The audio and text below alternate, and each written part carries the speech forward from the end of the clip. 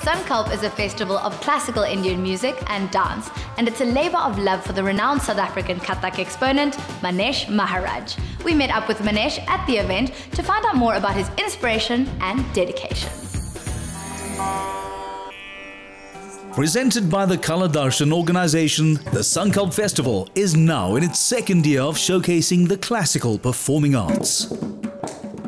Mela's Indian classical dance lovers have much to look forward to today. I'm about to attend an amazing festival with an exciting lineup of phenomenal performers, the Sankalp Festival. It's presented by one of South Africa's leading art organizations that provides education and development opportunities for artists around South Africa. Shri Manesh Maharaj is not only a leading Kathak performer, but also a guru in his own right. Me about your vision for the festival. Sankalp is basically my vow, a resolution to present art uh, the best way I can.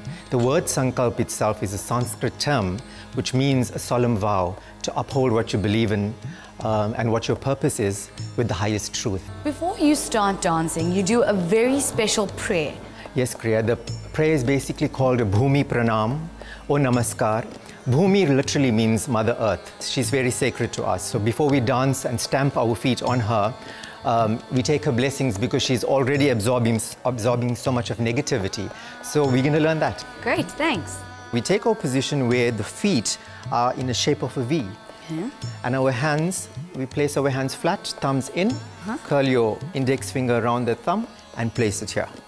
So the body is shaped already as an arrow striving to the heavens. Okay. So you become a medium between the two planes, the spiritual and the material. So we're going to extend our right hand 45 degrees to the right and we take a step. Then to the left, the same thing. What we're going to do now is welcome the audience who's come to watch us. Uh -huh. So we place our hands in front with the right leg pointed, open it out, look at your audience. After that, we touch the Bhumi, which is Mother Earth. Then we touch our eyes to get her respect. Take our hands to a full namaskar over your head. This is the salutation. Bring it down to your heart and stamp the right foot. And we're ready to go. It is absolutely beautiful. Yes, it is. It just sets the tone for what lies ahead. The festival adopts an holistic approach to the performing arts, with the vocalists and musicians who later accompany the dancers getting an opportunity to demonstrate their own dedication and artistry.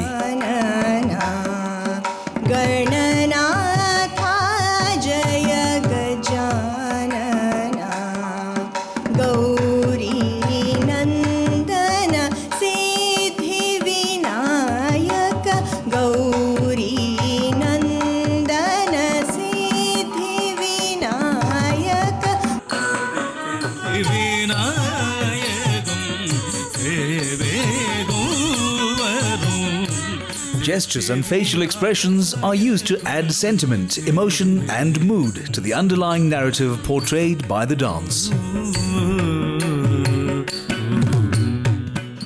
Culture is very rich. How do we go about preserving it? I think the best way to do that um, will be to pass this on to the next generation. Personally, opening an institute, I feel, is an excellent way to do that.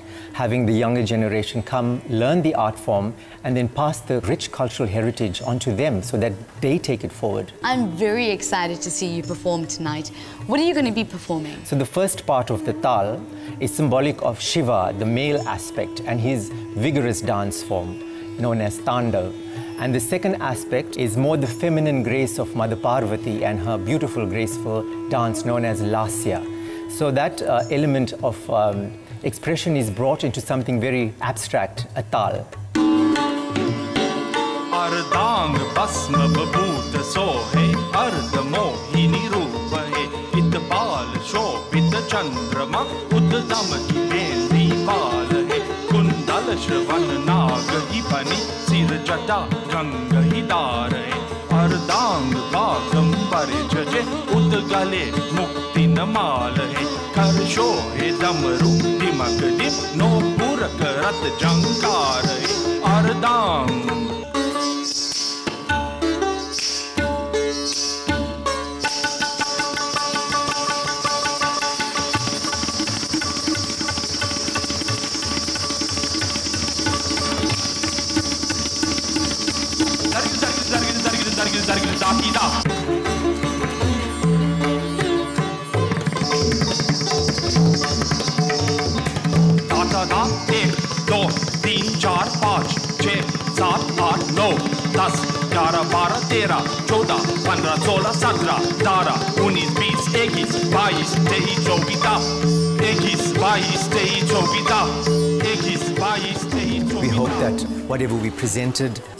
enters the society so that we all are able to uh, live in harmony and unity.